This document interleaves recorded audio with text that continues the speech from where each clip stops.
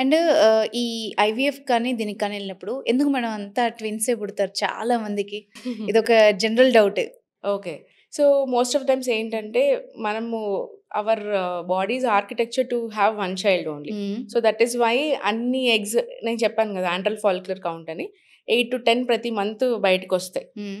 Like for example see ఒక class of 100 students ఉన్నారనుకోండి. Ovary ఒక 100 స్టూడెంట్స్ క్లాస్ అనుకుందాం. సో, ఆ class of 100లో only toppers or first benchers మాత్రం ఫస్ట్ లైన్‌లో ఉంటారు. ఎంతమంది ఉంటారు? 3 రోస్ అంటే 9 మెంబర్స్. సో, ఆ 9 మెంబర్స్ ఆ మంత్‌కి బయటకొచ్చారు. వాళ్ళలో ఫస్ట్ ర్యాంక్ ఎవరికొస్తుంది? ఒక్కళ్ళకేనా? యెస్.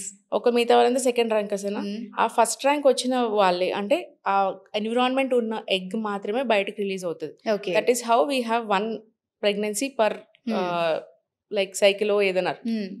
బట్ ఇన్ ఫెర్టిలిటీ ట్రీట్మెంట్స్‌లో. ఈ సూపర్ ఓవులేషన్ కానివ్వండి, ఓవులేషన్ ఇండక్షన్ గాని, ఐవీఎఫ్ గాని చేసినప్పుడు మన ఎయిమ్ ఏంటి? To 100% bring an egg.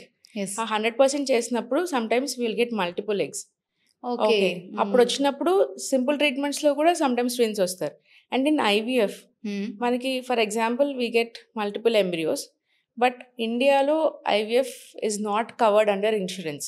హుహు. Right? It is payable from the pocket. and each time when you do an embryo transfer it is going to cost you.